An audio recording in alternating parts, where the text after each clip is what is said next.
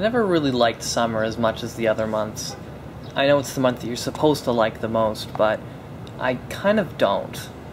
It feels a little bit dramatic to say that I have seasonal affective disorder associated with summer, but sometimes it kind of feels like that. I don't like being hot, and the humidity during the summer just kills me. But it's more than just the weather. In the winter, you're allowed to cover everything up, just sort of put everything away and sort of pretend like it doesn't exist. But in the summer, everything is out there. The only things you really seem to be able to see are the things that other people have that you don't.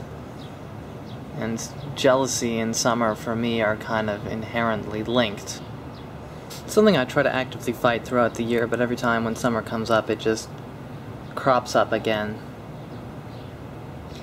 And though we sometimes fall prey to these kind of cycles, cycles that feel like they're out of our control, I don't think that's entirely true.